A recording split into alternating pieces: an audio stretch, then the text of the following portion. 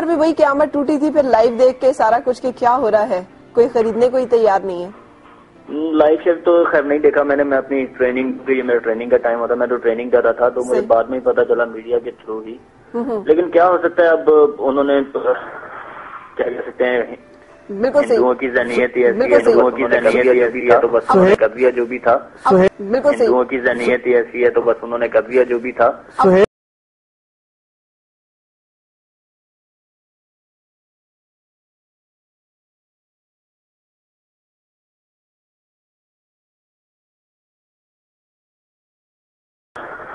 کیا کہہ سکتے ہیں۔ بالکل ہندوؤں کی ذہنیت ایسی ہے تو بس انہوں نے کر دیا جو بھی تھا۔ سہیل آپ بہترین کھلاڑی تھے جو اس سے پہلا ایڈیشن تھا۔ اس میں آپ بہترین کھلاڑی تھے۔ دوسرے میں بھی نظر انداز کیا گیا۔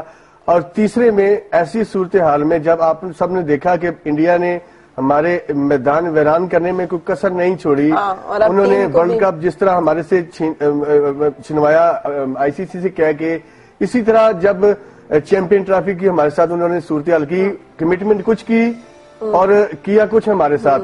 ورلڈ کپ میں بھی ان سا اسٹوری کچھ اور تھی وہ کہتے تھے ہم آپ کی سپورٹ کریں گے۔ اور بعد میں یہ انہوں نے ہمارے ساتھ کیا کیا۔ سے کرتے ہیں بغل میں چھری آپ بغل میں۔ چھری منہ میں رام رام یہ ہندو دنیا کے بارے میں جو ہے آپ کو اس کا پہلے علم نہیں تھا۔ دیکھیے ذرا صاحب بعد میں یہ انہوں نے ہمارے ساتھ کیا کیا سے کرتے ہیں بغل میں چھری آپ بغل میں۔ چھری منہ میں رام رام یہ ہندو دنیا کے بارے میں جو ہے آپ کو اس کا پہلے علم نہیں تھا دیکھیے صاحب